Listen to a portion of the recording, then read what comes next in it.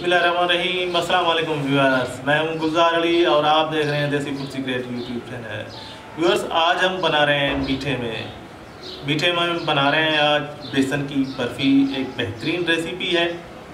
जब भी मीठा खाने को आपको दिल चाहे या आपके गेस्ट आ जाए या बच्चे बड़े अगर मीठा खाना चाहें तो ये रेसिपी आपके लिए बेहतरीन रेसिपी है।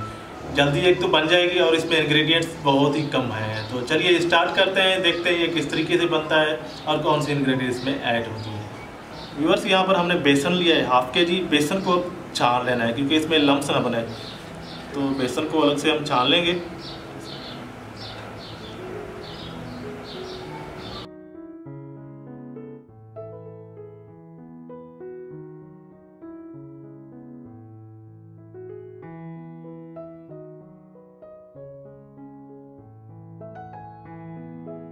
तो व्यूअर्स यहाँ पर बेसन को हमने छान लिया है। अभी करेंगे हम आगे का प्रोसेस तो व्यूअर्स अभी ऐड करेंगे घी। जैसा कि बड़ी गर्मी है तो ये अभी पहले से ही मेल्ट हुई हुई है। लेकिन हमने यहाँ पर घी यूज़ किया है। आप ऑयल भी यूज़ कर सकते हैं, लेकिन ये जो भी मीठी चीज़ें होती हैं, वो घी में अच्छी बनती हैं। व्यूअर्स हमारा घी अच्छे से गर्म हो गया है। अभी इसमें ऐड करेंगे बेसन और बेसन को भून लेंगे। यहाँ पर एक चीज़ का ख्याल रखना है कि फ्लेम बिल्कुल लो रखना है इसमें।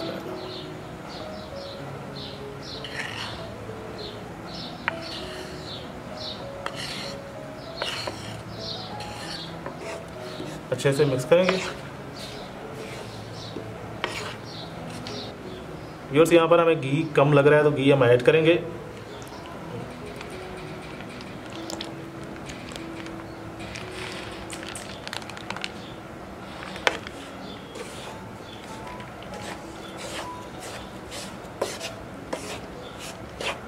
अच्छे से मिक्स करेंगे। व्यूअर्स चम्मच जो है, बिल्कुल चलाते रहना चाहिए। अभी हमें मज़ीद भूनना है।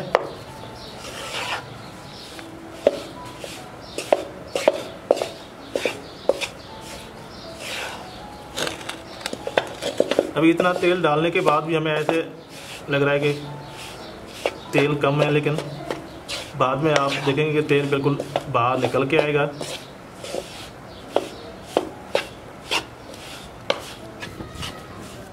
वो तकरीबन 10 से 12 मिनट हमें हो गए हैं ऐसे चम्मच चलाते लो फ्लेम पे। अभी आप देख सकते हैं कि बिल्कुल ऑयल आना बाहर शुरू हो गया है। आपको दिख रहा होगा ऑयल जो है, बिल्कुल ये लिक्विड शेप में आ जाएँगे। तो मज़ीद दूसरी इंग्रेडिएंट्स हम ऐड करेंगे। तभी तक ऐसे ही हमें चम्मच चलाते रहना चाहिए। अभी बिल्कुल ये सॉफ्ट बनते जा रहे हैं। आप देख सकते हैं कि ऑयल बिल्कुल ऊपर आ रहा है अभी। व्यूअर्स आप देख सकते हैं हमारी बेसन जो है बिल्कुल अच्छे से भुन गई है और इस लिक्विड फॉर्म में बिल्कुल आ गई है हमें। इस फॉर्म में हमें चाहिए थी। बिल्कुल ही भुन चुकी है। आप देख सकते हैं कलर भी थोड़ा हल्का सा चेंज हो गया है। ज़्यादा हमें कलर चेंज नहीं करना है। अभी इसमें हम ऐड करेंगे चीनी। ये हमने बेसन लिया था आधा के जी तो चीनी भी आधा के जी इस्तेमाल करनी चाहिए, लेकिन चीनी हम कम इस्तेमाल कर रहे हैं क्योंकि हम मीठा कुछ कम खाते हैं। तो इस हिसाब से चीनी तकरीबन 300 ग्राम हम ऐड कर रहे हैं। अच्छे से मिक्स करेंगे।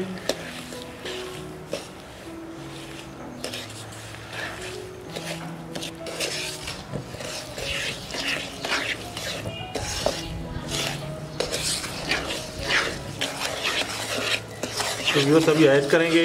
यहाँ पर एक प्याली नारियल का बुरादा। माशाल्लाह बहुत प्यारी सी खुशबू अभी से आना शुरू हो गई है। तो ये सभी ऐड करेंगे मिल्क यहाँ पर। यहाँ पर जब आप बेसन आपका आधा किलो है या, यानी 500 ग्राम है तो यहाँ पर दूध आपको डबल ले लेना चाहिए। यानी एक लीटर दूध। तब ये ऐड करेंगे हम दूध।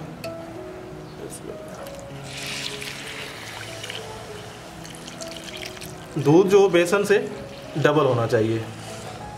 अच्छे से मिक्स करेंगे।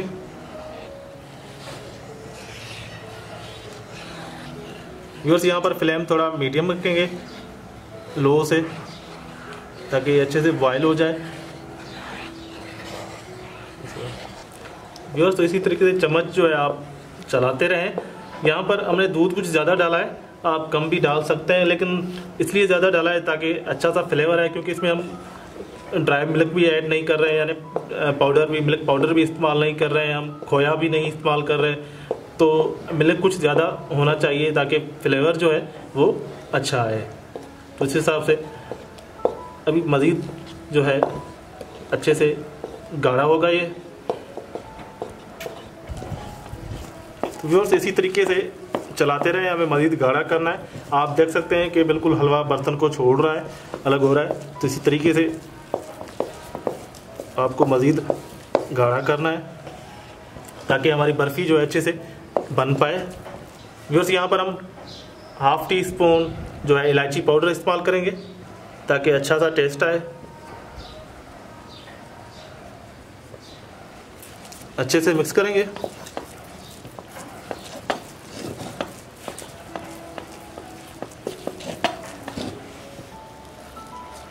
तो व्यूअर्स आप देख सकते हैं, हमारी बेसन अच्छे से बिल्कुल रेडी होने के मराहल में।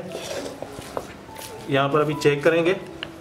चेक करने का तरीका यही है कि थोड़ा सा आप यहाँ से ले लें। ऐसे आप देखें। देख लें, आप हाथ को ये चिपक नहीं रहा है। इसका मतलब है ये बिल्कुल रेडी है। बिल्कुल ही जो है, ये हाथ को चिपक नहीं रहा है।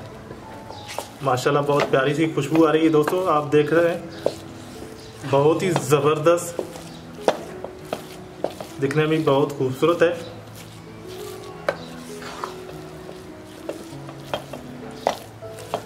आप चाहें तो इसमें कलर वगैरह ऐड कर सकते हैं, लेकिन हमने यहाँ पर कलर ऐड नहीं किया है। जो भी नेचुरल कलर है, हमने उसी में रहने दिया है।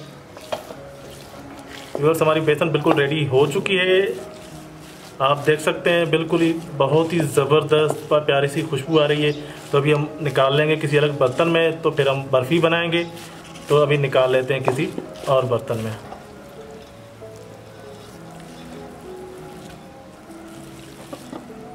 व्यूअर्स अभी गर्म है तो थोड़ी देर हम ठंडा रहने देंगे।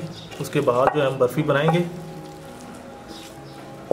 तो उम्मीद करता हूँ कि आज की रेसिपी आपको ज़रूर पसंद आएगी। अगर हमारी ये रेसिपी आपको पसंद आए तो काइंडली इस वीडियो को लाइक और शेयर कर दें। और जो दोस्त बिल्कुल नए हैं हमारे चैनल पे तो बर मेहरबानी हमारे चैनल को सब्सक्राइब कर दें, ताकि हमारी वीडियो की नोटिफिकेशन आप दोस्तों तक पहुँच सके।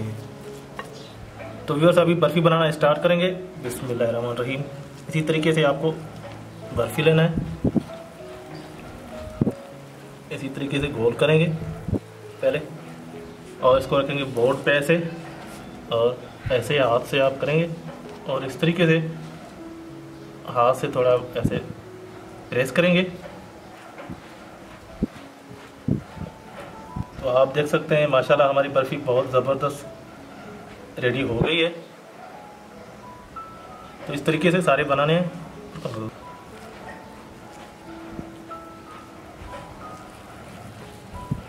सेम मेथड को फॉलो करेंगे। बोर्ड पे ऐसे हल्का सा प्रेस करके व्हील की तरह ऐसे घुमाएँ। उसके बाद थोड़ा ऐसे हाथ से प्रेस करें इस तरीके से। और इस तरीके से उसकी साइडें जो है, वो स्मूथ कर लें। इस तरीके से सारे बनाने हैं हमें। तो लीजिए व्यूअर्स हमारी बेसन की बहुत ही बढ़िया रेसिपी जो कि बेसन की बर्फ़ी बिल्कुल रेडी हो चुकी है। दिखने में बहुत ही खूबसूरत और खाने में बहुत ही डिलीशियस जब भी दिल चाहे, ये रेसिपी बनाएँ, बाज़ार को छोड़ें, बाज़ार को बाय बाय करें, क्योंकि ये बाज़ार से बहुत ही बढ़िया बनी है, बहुत ही ज़बरदस्त बनी है। तो अपने बच्चों के लिए बनाएँ, जब भी गेस्ट आए, अपने गेस्ट के लिए बनाएँ। बहुत ही ज़बरदस्त रेसिपी है। तीन से चार इंग्रेडिएंट्स में ये रेसिपी बनती है। ज़्यादा खर्चा भी इसमें नहीं है और झटपट बनने वाली ये रेसिपी है। तो उम्मीद करता हूँ कि आज की रेसिपी आपको ज़रूर पसंद आएगी।